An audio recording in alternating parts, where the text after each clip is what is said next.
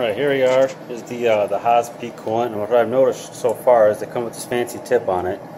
And uh, they're not the best because you can see kind of sprays and a, an erratic sort uh, sort deal. So what I did is uh, there's this piece that comes out of the front and inside's a uh, like a slip collet um, I don't know if that's the proper word for it like a compression fitting. There we go.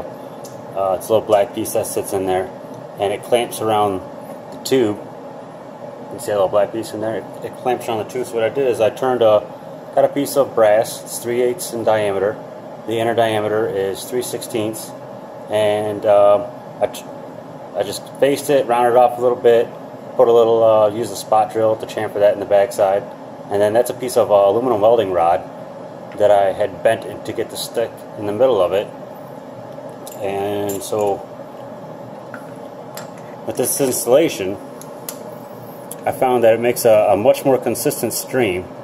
Now mind you, if you go to make one of your own, it's a 372 diameter that you're shooting for.